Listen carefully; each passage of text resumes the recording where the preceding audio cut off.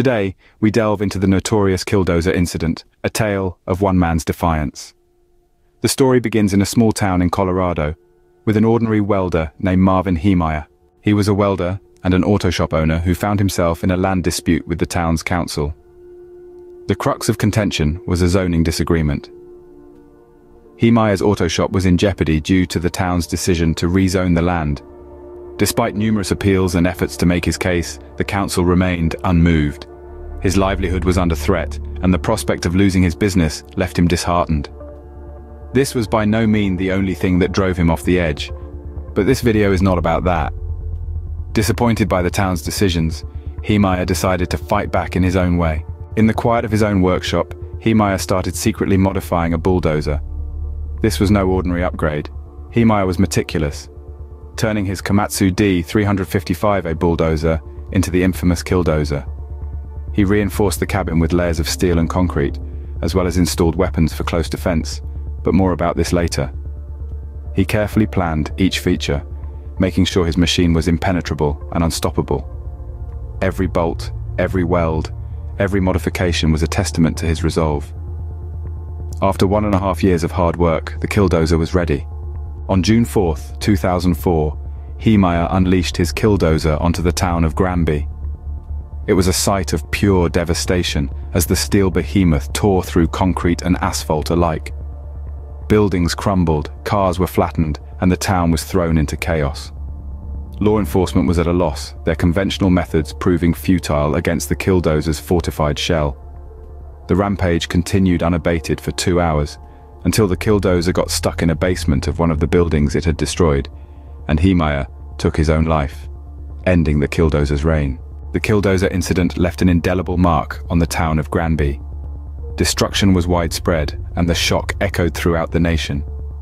Public reactions were mixed, some seeing a hero, others a villain. The Killdozer incident, a testament to one man's frustration and determination, continues to be a controversial chapter in American history, but how could Marvin have enhanced his design?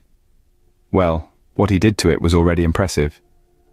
He welded a thick armored shell onto the cabin and engine, added cameras and viewports for visibility, pressurized air systems to clear his viewing devices, gun mounts for rifles reinforced with bulletproof plastic, and even an air conditioning system.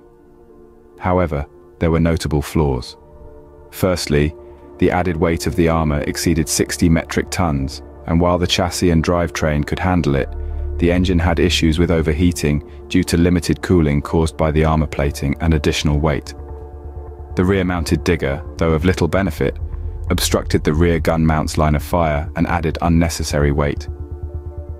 To address these problems, removing the digger and improving the cooling system with additional fanned radiators drawing fresh air from a protected vent could help. Regarding armor protection, the makeshift concrete reinforced steel armor was ineffective for its weight.